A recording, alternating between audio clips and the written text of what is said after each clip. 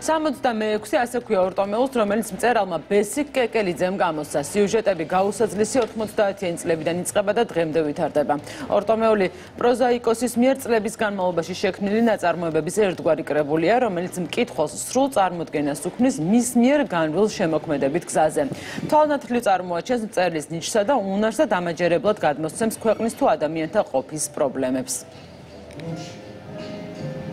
ესეები, ნოველები, მოთხრობები, ყველაფერი გავაერთიანე ძირითადი რაც მე ჩავთვალე საჭიროდ. ინგლისელი დიდი მწერლის, შექსპირის 66-ე სონეტის დედა აზრი გაზდევს ამ ორტომეულს ლაით მოტივად თავიდან ბოლომდე და ასე უწოდეს 66-ე. კარგად არ ვიცნობდი მის შემოქმედებას.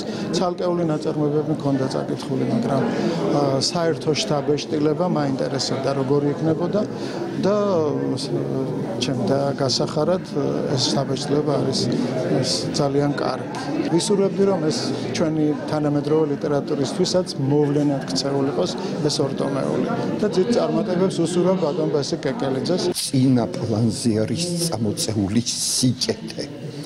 მაგრამ აი ამ სიკეთის სამსახურში დგომი კაცი დილეტანტი კი არ არის. ის არის ძალიან კარგი პროფესიონალი. მე ვთვლი რომ ეს არის შემოქმედის ყველაზე დიდი გამარჯვება